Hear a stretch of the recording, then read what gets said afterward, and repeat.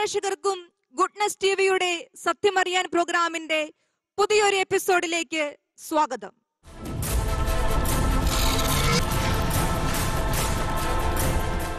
ഇന്നത്തെ നമ്മുടെ ചർച്ചയ്ക്ക് വേണ്ടി നാം ഒത്തുചേർന്നിരിക്കുന്നത് തലശ്ശേരി അതിരൂപതയിലെ ഉളിക്കൽ ഉണ്ണീശോ പള്ളിയിലാണ്.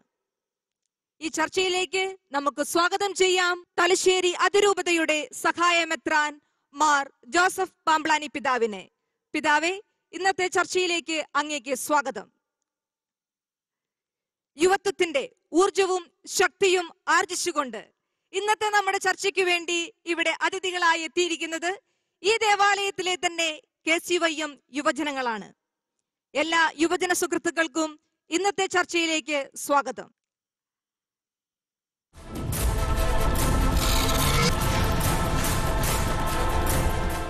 ന്യൂ ജനറേഷൻ ട്രെൻഡുകൾ എന്ന വിഷയത്തെക്കുറിച്ചുള്ള തുടർ ചർച്ചയാണ് ഇന്ന്. യുവജനങ്ങൾ സംശയങ്ങളോ അഭിപ്രായങ്ങളോ ഒക്കെ പറയാൻ റെഡി ആയിട്ടുണ്ടോ? റെഡിയാണ് ന്യൂ ജനറേഷൻ ട്രെൻഡുകൾ എന്ന വിഷയത്തെക്കുറിച്ച് പല കാര്യങ്ങൾ നമ്മൾ ചർച്ച ചെയ്തു. ഇനിയും ഒത്തിരി കാര്യങ്ങൾ നമുക്ക് ചോദിക്കുവാനും ഒത്തിരി കാര്യങ്ങളിൽ അഭിപ്രായം പറയുവാനുമുണ്ട്. ഓക്കെ ഇന്നത്തെ എപ്പിസോഡിൽ ആദ്യമായിട്ട് ആരാണ് ചോദ്യം ചോദിക്കുന്നത്? പിതാവേ എന്റെ പേര് ആൻമരിയ. ഇന്ന് പ്ലസ് ടു പഠനത്തിന് ശേഷം ഇല്ലെങ്കിൽ ഡിഗ്രിക്ക് ശേഷം പുറത്തേക്ക് പോകാൻ അതായത് ഇന്ത്യയിൽ വെളിയിലേക്ക് പഠിക്കാനും ജോലിക്കായിട്ടൊക്കെ പോകാനുള്ള ഒരു പ്രവണത കൂടുതലാണ്. ഇങ്ങനെ ഈ മൈഗ്രേഷൻ ട്രെൻഡിനെ കുറിച്ചുള്ള പിതാവിന്റെ അഭിപ്രായം. ആൻമരിയെ ചോദിച്ചത് വളരെ ഗൗരവമുള്ള ഒരു സാമൂഹിക പ്രശ്നത്തെ കുറിച്ചാണ് നമ്മുടെ ന്യൂ ജൻ തലമുറയ്ക്ക് സ്വന്തം നാടിനോട് ഒരു മതിപ്പ് കുറവുണ്ട്. അതാണ് ആൻമരിയ ചോദിച്ചത് അല്ലേ? ഇവിടെ ഇന്ത്യയിൽ നിന്നിട്ട് എന്നാ കാണാൻ? ഇവിടെ എന്നാ ജോലി? ഇനി ഇവിടെ ചെയ്താൽ തന്നെ എന്നാ കിട്ടാന് ഇവിടെ വല്ലോ ഗുണമുണ്ടോ? ഇവിടെ വല്ലോ വികസനമുണ്ടോ? ജീവിക്കുവാണെങ്കിൽ അമേരിക്കയെ ജീവിക്കണം. അല്ലെ യൂറോപ്പിൽ ജീവിക്കണം. ഇങ്ങനെ ഒരു ചിന്താഗതി ന്യൂജൻ ട്രെൻഡായിട്ട് രൂപപ്പെടുന്നു എന്നുള്ള ആൻമരിയായുടെ പ്രസ്താവന വളരെ മാറ്റർ ഓഫ് ഫാക്റ്റാണ്. വളരെ വസ്തുതാപരമാണ് കാരണം നമുക്കറിയാം ഇന്ന് ഇന്ത്യയിൽ നിന്നല്ല നമ്മുടെ കേരളത്തിൽ നിന്ന് തന്നെ ഓസ്ട്രേലിയയിലേക്ക് കാനഡയിലേക്ക് ന്യൂസിലാൻഡിലേക്ക് യു എസിലേക്ക് യൂറോപ്യൻ യൂണിയൻ രാജ്യങ്ങളിലേക്ക് ഒക്കെ പഠനത്തിന് വേണ്ടി ഡിഗ്രി അവിടെ പഠിക്കാം. നമ്മുടെ മിക്കവാറും എല്ലാ ഇലക്ട്രിക് പോസ്റ്റേലും അങ്ങനത്തെ പരസ്യങ്ങളും ഇപ്പൊ കാണാം. ഓസ്ട്രേലിയയിൽ ജോലി നിങ്ങൾ ആഗ്രഹിക്കുന്നു. പഠനം ജോലി ഉടൻ സമീപിക്കുക. ചെന്ന് കഴിയുമ്പോൾ പത്തും ഇരുപത്തഞ്ചിന് ലക്ഷം രൂപ കൊടുക്കണം. അത് കടം മേടിച്ചാണേലും പറമ്പ് വിറ്റാണേലും കാർന്നവന്മാര് കൊച്ചിനെ അക്കരയ്ക്ക് കടത്തി വിടാനുള്ള വ്യഗ്രതയാണ്. പലപ്പോഴും അവിടെ ചെന്ന് ഏതെങ്കിലും നിലവാരമില്ലാത്തൊരു കോഴ്സും ഉണ്ടാകും. അതിന് ഇവന് പരമാവധി ജോലി കിട്ടാൻ പോകുന്നത് അവിടുത്തെ മാക്ഡൊണാൾഡ്സിൽ മേശ തൂക്കാനുള്ള ഒരു ജോലിയായിരിക്കും. ആ ജോലി മോശമാണെന്നല്ല ഞാൻ ഉദ്ദേശിച്ചത്. പക്ഷേ അതിനേക്കാളും എത്രയോ നല്ല അവസരങ്ങൾ ഈ നാട്ടിൽ നമുക്ക് ലഭ്യമാണ്. ഒരുപക്ഷെ ഈ ന്യൂജൻ കാഴ്ചപ്പാടിൽ സ്വന്തം രാജ്യത്തോട് മാതൃരാജ്യത്തോടുള്ള മതിപ്പ് ജനനിയും ജന്മഭൂമിയും നമുക്ക് സർവസ്വവുമാണ് എന്ന കവിവാക്യത്തെ പുതിയ തലമുറ ഒരിക്കൽ കൂടി വായിച്ചു പഠിക്കേണ്ടതുണ്ട് എന്നെനിക്ക് തോന്നുന്നു. അതുകൊണ്ട് അമ്മയെപ്പോലെ പ്രധാനപ്പെട്ടതാണ് മാതൃരാജ്യം എന്നുള്ള ആ വിചാരം. ഈ ഇന്ത്യ മഹാരാജ്യം മറ്റെല്ലാ രാജ്യങ്ങളുമായിട്ട് താരതമ്യം ചെയ്യുമ്പോൾ ഇതിനെന്തെല്ലാം പരിമിതികളും പോരായ്മകളും ഉണ്ട് എങ്കിലും പ്രിയപ്പെട്ട യുവജനങ്ങളെ ഈ രാജ്യത്തോളം സുന്ദരമായ മറ്റൊരു രാജ്യമില്ല ജീവിക്കാൻ ഇത്രയും എളുപ്പമുള്ള മനുഷ്യബന്ധങ്ങളെ ഇത്രയും ഹൃദ്യമായി അനുഭവിക്കാൻ കഴിയുന്ന ഒരു രാജ്യവും നമുക്ക് ഈ ലോകത്ത് കാണാൻ പറ്റിയത്. കാരണം ഇവിടെ മനുഷ്യത്വത്തിന് അത്ര കണ്ട് വിലയുണ്ട്. അവിടെ ഇവിടെയും ചില പ്രശ്നക്കാരുണ്ട് എന്നുള്ളത് സത്യമാണ്. ചില ദളിത് പീഡനങ്ങൾ ഗോവധത്തിന്റെ പേരിലുള്ള കലാപങ്ങൾ അതൊക്കെ ഒറ്റപ്പെട്ട ചില സംഭവങ്ങളാണ് എന്നത് ഒഴിച്ചു നിർത്തിയാൽ ഇവിടെ മനുഷ്യരെല്ലാം എത്രയോ സാഹോദര്യത്തിലാണ് കഴിയും ഇവിടെ ഏത് വഴി ചെന്നാലും ആളുകളുണ്ട്. കലിങ്കയിലിരുന്ന് വർത്തമാനം പറയുന്ന മനുഷ്യരെ അല്ലേ? അവരൊക്കെ വാസ്തവത്തിൽ ഈ നാടിന്റെ നന്മകളും പുണ്യങ്ങളുമാണ്. അയലോക്കത്തെ വീട്ടുകാർ തമ്മിൽ എന്തോ ഒരു സൗഹൃദമാണ്. അതേസമയം നിങ്ങൾ വിദേശ രാജ്യങ്ങളിൽ ചെന്നാൽ അയലോക്ക സന്ദർശനം എന്നൊക്കെ പറഞ്ഞാൽ എന്തോ വലിയ അപരാധം പോലെയാണ് ഒരു വീട്ടിലേക്ക് അയലോക്കംകാർ കയറി വരിക എന്നൊക്കെ പറഞ്ഞാൽ അതെന്തോ കൊള്ളയടിക്കാൻ വരുന്നത് പോലെയാണ് അവർ അതിനെ മനസ്സിലാക്കുക. മനുഷ്യബന്ധങ്ങളുടെ ഹൃദ്യത ഇഷ്ടപ്പെടുന്ന ഒരാൾക്ക് ജീവിക്കാൻ ഈ ഭൂമിയിലെ ഏറ്റവും നല്ല രാജ്യം നമ്മുടെ രാജ്യമാണ് എന്ന് മനസ്സിലാക്കാനും ഈ രാജ്യത്തെ സ്നേഹിക്കാനും ഈ രാജ്യം ഒരുപാട് അവസരങ്ങൾ നമുക്ക് തരുന്നുണ്ട്. പലപ്പോഴും പറ്റുന്ന കുഴപ്പം എന്താന്ന് ചോദിച്ചാൽ ഈ രാജ്യത്തെ നികുതി പണം കൊണ്ട് വിദ്യാഭ്യാസം നേടുന്നവരാ നമ്മൾ മുതിർന്ന തലമുറ അവരുടെ നികുതി പണം അടച്ച് അതുകൊണ്ട് സൗജന്യമായി വിദ്യാഭ്യാസം നേടിയവരാണ്. നമ്മുടെ സ്കൂൾ തലത്തിൽ കോളേജ് തലത്തിൽ പ്രാക്ടിക്കലി നമ്മുടെ വിദ്യാഭ്യാസം സൗജന്യമാണ്. അത് കഴിഞ്ഞ് രാജ്യത്തെ ഏറ്റവും മുതിർന്ന അല്ലെങ്കിൽ മുൻനിര സ്ഥാപനങ്ങളിൽ പഠിക്കാൻ ഇടവരുന്നവര് ഇന്ത്യയിലെ ഐ ഐ ടികളിൽ പഠിക്കുന്നത്. ഐ ഐ എമ്മുകളിൽ പഠിക്കുന്നവര് ഇവരൊക്കെയും ഒരു തൊണ്ണൂറ് ശതമാനവും എങ്ങോട്ടാ പോവുക? വിദേശ രാജ്യങ്ങളിലേക്ക് പോകും അതൊക്കെ ഈ രാജ്യത്തോട് കാണിക്കുന്ന ഒരു നെറികേടാണ് അതിലൊരു അന്യായമുണ്ട്. ഈ രാജ്യമാണ് എന്നെ വളർത്തിയത് എന്നെ ഞാനാക്കിയത് ഈ രാജ്യമാണ്. അതുകൊണ്ട് എന്റെ ബുദ്ധിയും കഴിവും ഞാൻ ഈ രാജ്യത്തിന്റെ നന്മയ്ക്ക് വേണ്ടി വിനിയോഗിക്കണം. മൈക്രോസോഫ്റ്റിന്റെ സൈബർ വാലിയിൽ ജോലി ചെയ്യുന്നവരിൽ അറുപത് ശതമാനവും ഇന്ത്യക്കാരാണ്. ഇന്ത്യക്കാർ നല്ല ബുദ്ധിമാന്മാരായതുകൊണ്ട് സായിപ്പ് അവനെ വാടകയ്ക്കെടുത്ത് അവിടെ ജോലി ചെയ്യിപ്പിക്കും. ഈ ബുദ്ധിമാന്മാർ ഈ നാട്ടിൽ ഇതേപോലെ ഒരു സംവിധാനം രൂപപ്പെടുത്തിയിരുന്നെങ്കിൽ അത് രാജ്യത്തിന്റെ മുഴുവനും വളർച്ചയെ സ്വാധീനിക്കുമായിരുന്നു. അതുകൊണ്ട് ഈ പുതിയ തലമുറയുടെ കാഴ്ചപ്പാടുകളിലെ മാറ്റവും ഇവിടുത്തെ രാഷ്ട്രീയ നേതൃത്വം കൈവരിക്കേണ്ട ഇച്ഛാശക്തിയും കൂടി ചേർന്ന് കഴിഞ്ഞാൽ ഒരുപക്ഷെ നമുക്ക് ഈ നാടിന്റെ ഛായ തന്നെ സമ്പൂർണമായും മാറ്റി എഴുതാൻ കഴിയും. നന്ദി പിതാവേ.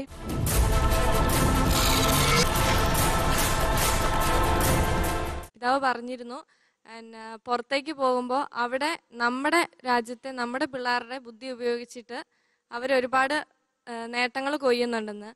പക്ഷേ നമ്മൾ അവിടെ ചെയ്യുന്ന ഓരോ പ്രവൃത്തിക്കും അതിന്റെതായ അനുസരിച്ച് പ്രതിഫലവും ലഭിക്കുന്നുണ്ട്.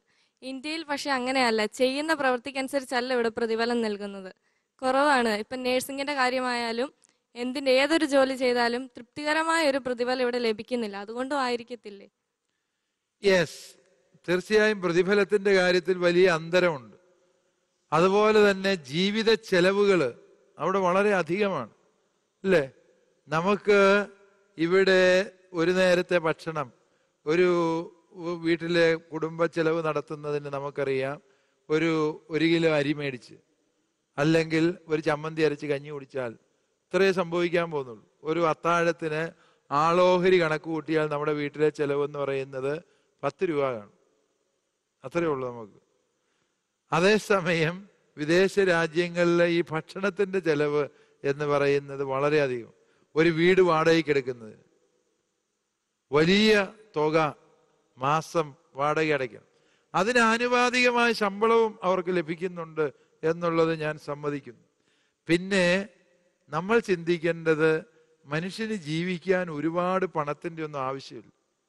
ഒരുപക്ഷെ ഈ ന്യൂ ജെന്നിന്റെ ഒരു അപകടകരമായ ചിന്ത എങ്ങനെയും കുറെ കാശുണ്ടാക്കണം പണം ഉണ്ടായിക്കഴിഞ്ഞാൽ പിന്നെ എല്ലാം ശരിയാകും.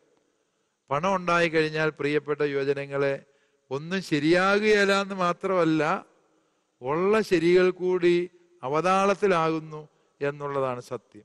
അതുകൊണ്ട് നമുക്ക് ഈ പണത്തോടുള്ള വ്യഗ്രതയും അവർ നേടുന്ന ശമ്പളത്തിന്റെ വലിയ തുക കണ്ടുള്ള ആ ഭ്രമവും ഉപേക്ഷിക്കേണ്ടതുണ്ട്. നമ്മുടെ പരിമിതമായ സാഹചര്യങ്ങളിൽ ജീവിക്കാൻ നമ്മുടെ രാജ്യത്തിന് ഇത്രയൊക്കെ നമുക്ക് തരാൻ പറ്റുന്നുള്ളൂ. അത് സംതൃപ്തമായി ജീവിക്കാൻ പര്യാപ്തമാണ് എന്ന് ചിന്തിക്കുക. ആ ഒരു ചിന്തയിൽ ഒരു ആധ്യാത്മികതയുണ്ട്. Bloom where you are planted എന്ന് ഒരു ചിന്ത നിങ്ങൾ കേട്ടിട്ടുണ്ട്. എവിടെയാണോ നിന്നെ നട്ടത് അവിടെയാണ് നീ വളർന്ന് പുഷ്പിക്കേണ്ടത്. നമ്മൾ ഇനി വേറൊരു രാജ്യത്ത് ചെന്നാൽ ആ രാജ്യത്തെ മനുഷ്യർ നമ്മളെ എങ്ങനെയാണ് കരുതുന്നതെന്നൂടെ നമ്മൾ ചിന്തിക്കും. എവിടുന്നോ വന്ന കുറെ ദരിദ്രവാസികൾ. എന്ന മട്ടിൽ നമ്മളെ ചിന്തിക്കും. ഒരു അമേരിക്കൻ അച്ഛൻ എന്നോട് പറഞ്ഞ ഒരു കാര്യം നമ്മുടെ അമേരിക്കയിൽ പോയ മലയാളികൾ വളരെ നല്ല രീതിയിൽ ജീവിക്കുന്നവര് ഒരുപക്ഷെ അവിടുത്തെ തദ്ദേശീയരായ അമേരിക്കക്കാരെക്കാളും നല്ല രീതിയിൽ ജീവിക്കുന്നവരാണ് നമ്മുടെ മലയാളികൾ എല്ലാവരും രണ്ടു കൂട്ടരും നല്ല ജോലി ചെയ്യുന്നവരാണ് ഭാര്യയും ഭർത്താവും. അതുകൊണ്ട് ഒരു ഏണിംഗ് കപ്പാസിറ്റി നോക്കിയാൽ ഒരു ശരാശരി അമേരിക്കക്കാരനേക്കാളും മുന്തിയ നിലവാരമുള്ളവരാണ് നമ്മുടെ മലയാളികൾ അവിടെയുള്ളത്. പക്ഷേ ഒരു വൈദികൻ ഒരു സായിപ്പച്ചൻ എന്നോട് ഞാൻ ജോലി ചെയ്ത പള്ളിയിലെ അച്ഛൻ എന്നോട് തമാശ രൂപത്തിൽ പറഞ്ഞു നിന്റെ ഇന്ത്യക്കാർ വന്നാൽ പള്ളിയുടെ ആ പുറകിലത്തെ ആറ് ബെഞ്ച് അവന്മാർ നിറഞ്ഞിരിക്കും. ആ ഇടവകയിൽ അത്രയും കുറച്ച് ഇന്ത്യക്കാരേ ഉള്ളൂ. അവന്മാർ നിറഞ്ഞിരിക്കും.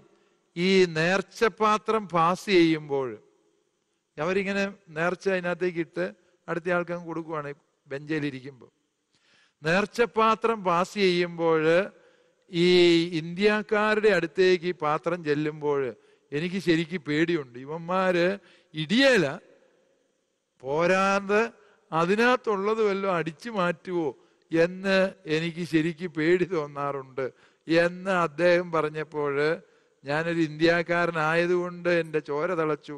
എന്നുള്ളതാണ് സത്യം.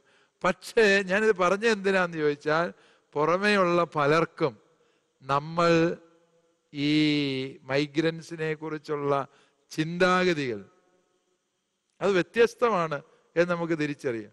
എങ്ങനെയും ഇവിടെ നിന്ന് ഈ മൈഗ്രൻസിനെ ഓടിക്കണം എന്ന് ചിന്തിക്കുകയും അതിനുള്ള നിയമനിർമ്മാണം നടത്തുകയും ചെയ്യുകയാണ് യൂറോപ്യൻ രാജ്യങ്ങളും അമേരിക്കൻ രാജ്യങ്ങളും. ഈ ഒരു സാഹചര്യത്തിൽ നമ്മൾ ഈ അക്കരെ പച്ച കണ്ടുള്ള ഈ ആവേശത്തിന് അറുതി വരുത്താൻ സമയമായി. നമ്മുടെ നാട്ടിൽ നമ്മൾ ഒരുമിച്ച് നിന്നാൽ അത്ഭുതങ്ങൾ ചെയ്യാൻ പറ്റും. കൈകോർത്ത് പ്രവർത്തിച്ചാൽ ഈ കാഴ്ചപ്പാടുകളെ തിരുത്താൻ സാധിക്കും എന്നുള്ളത് നമ്മൾ തിരിച്ചറിയണം. ഈ വരും തലമുറയ്ക്ക് നിലനിൽക്കാൻ ഇപ്രകാരമുള്ള ചില ശൈലി മാറ്റങ്ങൾ ഗുണകരമാണ് എന്നാണ് ഞാൻ വിചാരിക്കുന്നത്.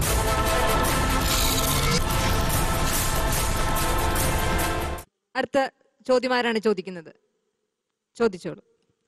പിതാവ് എന്റെ പേര് ടെൽമി.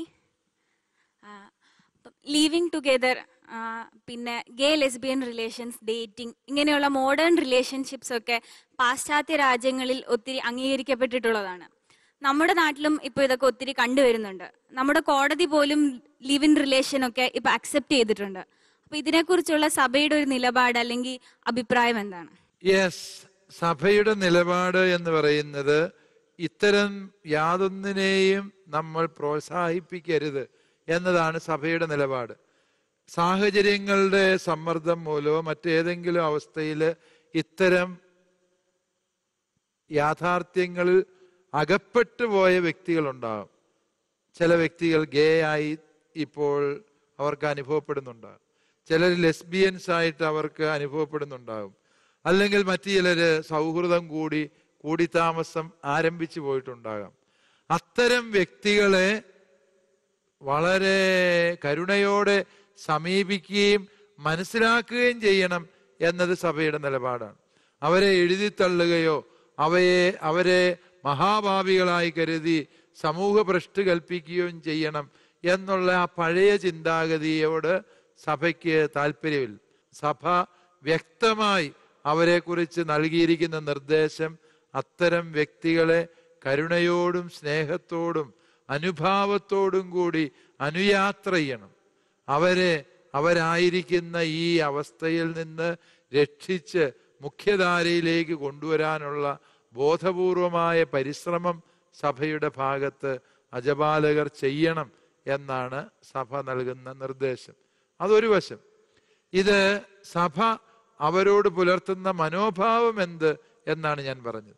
എന്നാൽ ഈ വസ്തുതകളോട് സഭയുടെ നിലപാടെന്ത് എന്ന് ചോദിച്ചാൽ അത് തിന്മയാണ് എന്ന് തന്നെ സഭ അടിയുറച്ച് വിശ്വസിക്കുന്നു. കാരണം ഗേ ആവുക ലെസ്ബിയൻ ആവുക ഒരു തലമുറ മുഴുവനും അങ്ങനെ ആയാൽ എന്ത് സംഭവിക്കും? നിങ്ങളൊന്ന് ചിന്തിച്ചു നോക്ക്. നിങ്ങൾ ഈ ഉളിക്കൽ പ്രദേശത്തെ ആണുങ്ങളെല്ലാവരും കൂടെ ഗേ ആയി ഇവിടുത്തെ പെമ്പിള്ളേരെല്ലാവരും കൂടെ ലെസ്ബിയനുമായി എന്ന് വിചാരിക്കും. ഈ ഉളിക്കല്ലിൽ എത്ര കാലത്തേക്ക് മനുഷ്യവാസം ഉണ്ടാവും? ഈ തലമുറ മാത്രം അല്ലേ? ഇത് കഴിഞ്ഞാൽ ഇവിടെ തലമുറ ഇല്ലാണ്ടാവും. അതാണ് ബൈബിൾ സോതവും ഗോമോറായുടെ കഥ പറഞ്ഞപ്പോൾ പറഞ്ഞത്. സോതവും ഗോമോറായിൽ എല്ലാവരും ഗേയും ലെസ്ബിയനുമായി. സോതവും ഗോമോറായിൽ എന്തുണ്ടായി? ചാവുകടലുണ്ടായി എന്ന ബൈബിൾ പറയും. ചാവുകടൽ എന്ന് പറയുന്നത് അതൊരു പ്രതീകമാണ്. എന്താ ചാവുകടലിന്റെ പ്രതീകാത്മകത? ജീവന്റെ കണിക പോലും അവിടെയില്ല. ആ അവസ്ഥ ഉണ്ടായി എന്നാണ് ബൈബിൾ എഴുതി വെച്ചത്. അത് നമ്മൾ മനസ്സിലാക്കേണ്ട സത്യമാണ്. ആ അവസ്ഥ എങ്ങനെ ഉണ്ടായി എന്ന് ചോദിച്ചാൽ പ്രിയപ്പെട്ട യുവജനങ്ങളെ മനസ്സിലാക്കുക. അതൊരു ഓർമ്മപ്പെടുത്തലാണ്. ഒരു സമൂഹം ഗേ ആയാൽ ലെസ്ബിയൻ ആയാൽ പിന്നെ അവിടെ ജീവന്റെ കണികയില്ല. ജീവൻ എവിടുന്നേ ഉണ്ടാവുള്ളൂ? സ്ത്രീ പുരുഷ ബന്ധത്തിൽ നിന്ന് ജീവൻ ഉണ്ടാവുള്ളൂ. ഒരു സമൂഹം ഒന്നാകെ ഗേ ആയാൽ പിന്നെ അവിടെ ജീവനില്ല. ഒരു സമൂഹം ഒന്നാകെ ലെസ്ബിയൻ ആയാൽ അവിടെ ജീവിതമില്ല. ജീവനെ നീ ഇഷ്ടപ്പെടുന്നുവോ സ്നേഹിക്കുന്നുവോ? ജീവന്റെ വക്താവാകാൻ നിനക്ക് താല്പര്യമുണ്ടോ ഇത് അടിസ്ഥാനപരമായ ചോദ്യം. ആ ചോദ്യത്തിനാണ് നാം ഉത്തരം കണ്ടെത്തേണ്ടത് എങ്കിൽ നമ്മൾ സ്വാഭാവികമായി സംഭവിക്കും ഈ ഗേ ലെസ്ബിയൻ ചിന്താഗതികൾ ജീവന് വിരുദ്ധമായ നിലപാടാണ്. ഇത്തരം അവസ്ഥകളിൽ പെട്ടുപോയവരെ നിങ്ങൾ അങ്ങനെ അങ്ങ് ജീവിച്ചു എന്ന് പറഞ്ഞ് എഴുതി തള്ളുകയല്ല സമൂഹം ചെയ്യേണ്ടത്. അവരെ മുഖ്യധാരയിലേക്ക് കൊണ്ടുവരാനുള്ള ബോധപൂർവമായ പരിശ്രമങ്ങൾ സ്നേഹങ്ങൾ അതുപോലെ തന്നെ അനുയാത്രകൾ അവർക്ക് നൽകിക്കൊണ്ട് അവരെ അവസ്ഥയിൽ നിന്ന് വീണ്ടും രക്ഷിക്കുക എന്ന നിലപാടാണ് സഭയ്ക്കുള്ളത് എന്ന് മനസ്സിലാക്കുക നന്ദി പിതാവേ. ഇതിനെ സംബന്ധിച്ച് ആർക്കെങ്കിലും സംശയമുണ്ടോ? ചോദിച്ചോളൂ. പിതാവേ എന്റെ പേര് അനീന. പിതാവ് ഇപ്പൊ പറഞ്ഞു ഗേ ലെസ്ബിയൻസ് അതിന് സപ്പോർട്ട് ആവുന്നില്ലെന്ന്. അങ്ങനെ ട്രാൻസ്ജെൻഡേഴ്സ് അതായത് ഒരു ഫീമെയിൽ മെയിലിലേക്ക് മാറുന്നു മെയിൽ ഫീമെയിലേക്ക് മാറുന്നു. അന്നേരം അവരുടെ ആ റിലേഷൻഷിപ്പിനെ അംഗീകരിക്കാൻ പറ്റുമോ ട്രാൻസ്ജെൻഡേഴ്സ് എന്ന് പറയുന്നത് തന്റെ ഫീമെയിൽ നേച്ചറിനോട് ഒരു വ്യക്തിക്ക് താല്പര്യമില്ലാതെ ആ വ്യക്തി മെയിലാകാൻ ശ്രമിക്കുന്നതാണ് എങ്കിൽ സഭ അതിനെ സപ്പോർട്ട് ചെയ്യൽ. അതേസമയം നമുക്കറിയാം ചില ഫിസിക്കൽ പ്രോബ്ലങ്ങൾ ഉള്ളവരുണ്ട് അവരുടെ ആന്തരികതയിൽ അവർക്ക് പൂർണമായും അതർ സെക്സിന്റെ എല്ലാ സംവിധാനങ്ങളും ഹോർമോണുകളും ഈവൻ ഇന്റേണൽ ഓർഗൻസ് പോലും അപ്രകാരമായിട്ടുള്ള ചില വളർച്ചയുടെ ഘട്ടത്തിൽ സംഭവിച്ച പ്രകൃതിയുടെ ചില വികൃതികൾ പോലെയുള്ള ജീവിതങ്ങളുണ്ട്. അത്തരം ജീവിതങ്ങൾ അവർ ട്രാൻസ്ജെൻഡേഴ്സായി ജീവിക്കുന്നതിനെ സഭ പൂർണമായും മനസ്സിലാക്കുന്നു. സഭ അമ്മയെപ്പോലെ അവരുടെ ഒപ്പം നിൽക്കാൻ തയ്യാറാണ്. എന്നുള്ള സത്യം എല്ലാവരും മനസ്സിലാക്കണം. അതിനെ സഭയ്ക്ക് യാതൊരു വിധത്തിലും എതിർപ്പില്ല. അതേസമയം തന്റെ ദൈവദത്തമായ ലൈംഗികതയെ അല്ലെങ്കിൽ ലിംഗാവസ്ഥയെ ഒരു വ്യക്തി മാറ്റിമറിക്കാൻ ശ്രമിക്കുന്നത് സൃഷ്ടാവിനോടുള്ള അനാദരമാണ്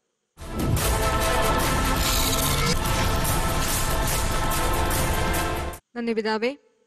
ഇനി സംശയമുണ്ട് ആർക്കെങ്കിലും? ആ ചോദിച്ചോളൂ.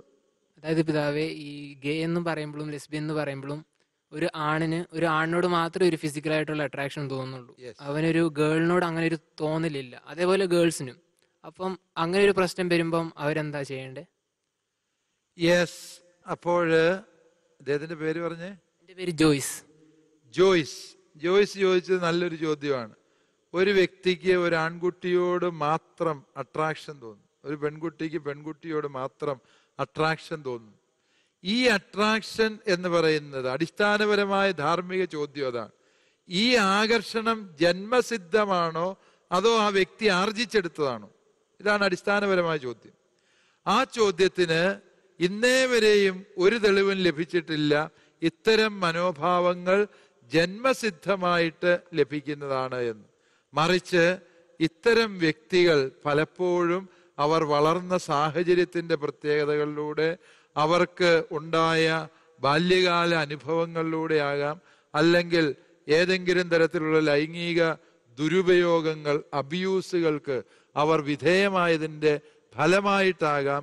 അവർ ഈ സ്വാഭാവിക ലൈംഗികതയെ വെറുക്കുന്ന ഒരു മനോഭാവവും ഇപ്രകാരമുള്ള ഒരു ഗേ അല്ലെങ്കിൽ ലെസ്ബിയൻ ആറ്റിറ്റ്യൂഡ് രൂപപ്പെടുത്തുന്നു.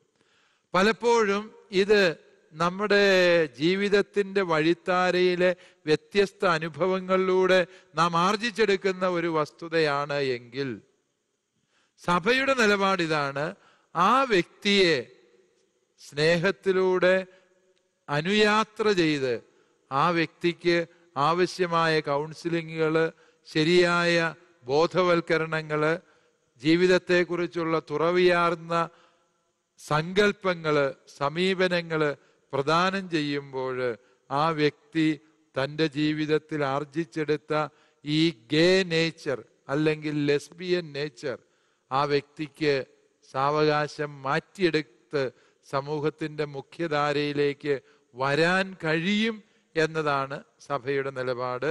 അതുകൊണ്ടാണ് സഭ ഗേ ലെസ്ബിയൻ ആയിട്ടുള്ള വ്യക്തികളെ പ്രോത്സാഹിപ്പിക്കാത്തത്.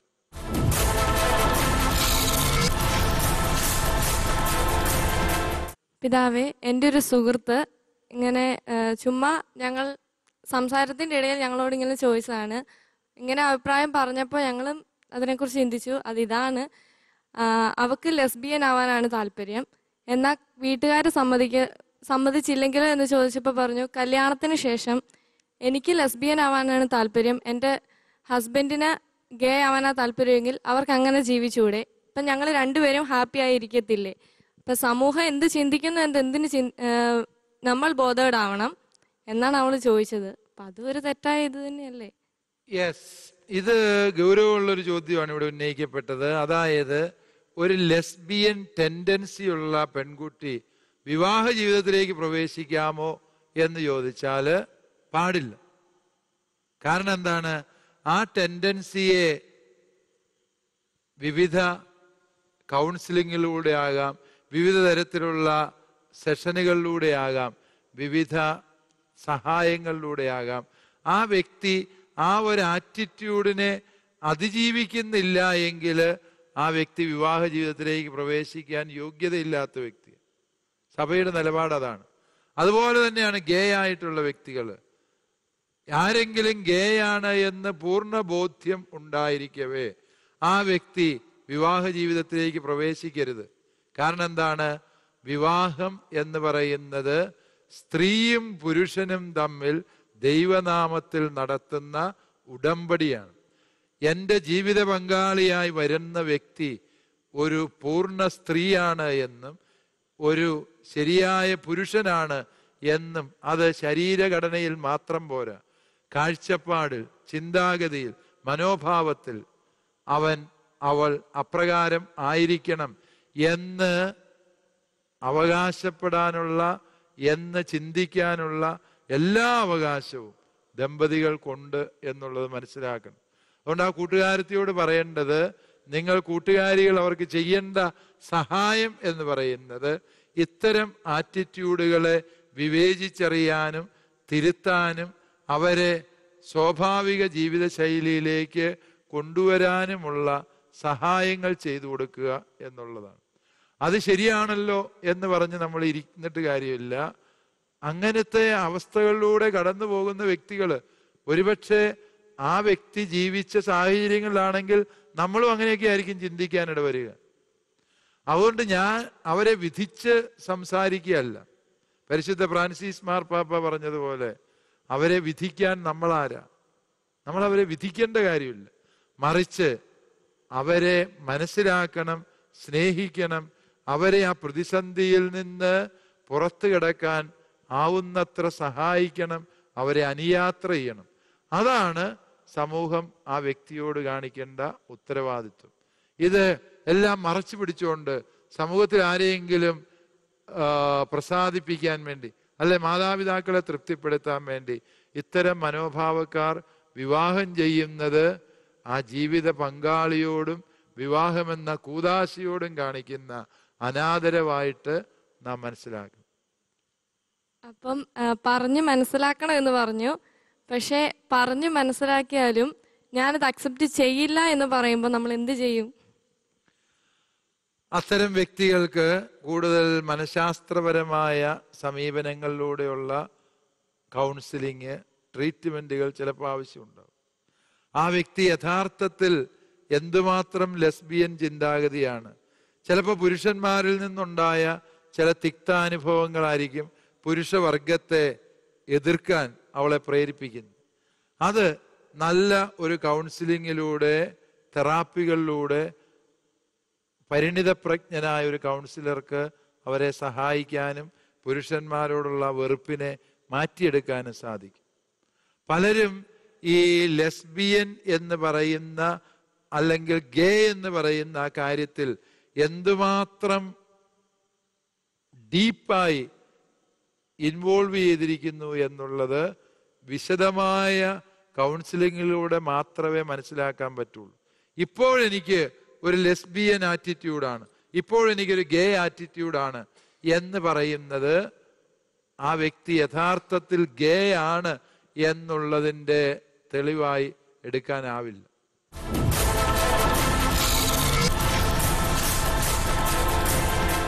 കാലം മാറി ട്രെൻഡുകളും. ന്യൂ ജനറേഷൻ ട്രെൻഡുകളിൽ നല്ലതും ചീത്തയുമുണ്ട്. നല്ലതിനെ പ്രോത്സാഹിപ്പിക്കുവാനും തിന്മയെ തടയുവാനും എല്ലാവർക്കും സാധിക്കട്ടെ.